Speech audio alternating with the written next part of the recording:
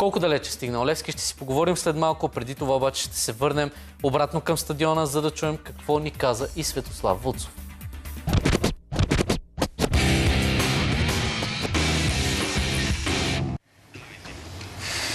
Светло изключително ядосан напусна терена, както ти, така и твоите съотборници. Нормално е да ви е ята. За какво съжаляваш най-много в днешния двубой? Е, за какво съжалявам? Едни хора не искаха поне да вземем една точка. Сега не искам да казвам по-директни думи. Афектира съм, загубили сме матча. Е свършил, минал за минал. Ти спаси почти всичко, каквото можеше да се спасява и един гол, три точки. Еми, спасих каквото имаше. Гол, наша грешка, шестима на двама наши футболисти в наказателното поле и от два метра си ми я вкара.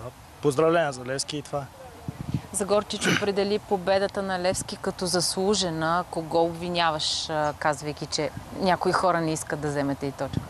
Не, не искам да коментирам. Треньора правилно каза и в Солеканата, че победата е заслужена. Причината си е в нас, гледаме в нас и това е.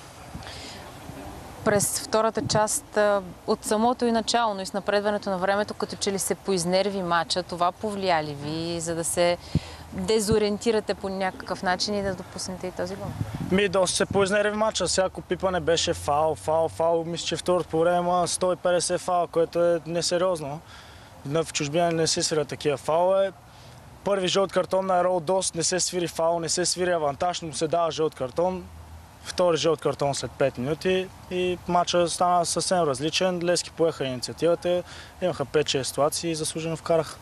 Отдадохте ли по-големия респект от нужния на Левски, тъй като и Золотомир Загорчич каза, че сте влезли с по-голям респект към противника? Като че ли влязохме наистина с по-голям респект.